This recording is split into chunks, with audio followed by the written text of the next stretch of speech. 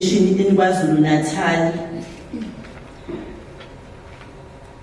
We value and appreciate our meaningful engagements and collabora- collaborations with NAPTOSA, which we consider to be one of the critical stakeholders in the, in the delivery of education in our province.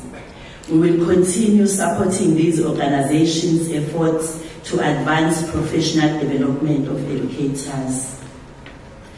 Program Director, I'm encouraged by the spirit of cooperation and Ubuntu that I witnessed during this week's consultative, uh, consultative engagements with Education, Labor Relations Council, and School Government Bodies Associations.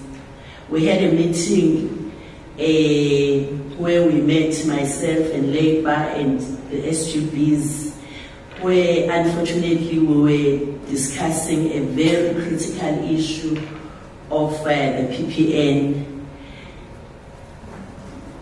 Tough as it is, difficult as it is, but our discussions were those of people who are looking forward into ensuring that we do get quality education in KwaZulu-Natal.